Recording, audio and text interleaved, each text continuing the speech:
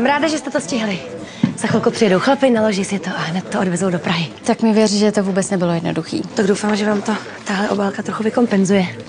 Zase si přinesla peníze v hotovosti. Já to tak mám radši. A Ono to převádění čísel v počítači není úplně bezpečný. Radši operuju z hotovostí. mluvíš jak mafiáni z devadesátek. To si nemůžu pamatovat, byla jsem malá.